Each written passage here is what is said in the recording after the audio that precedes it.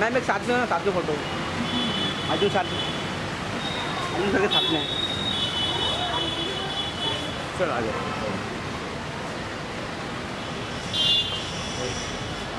जाओ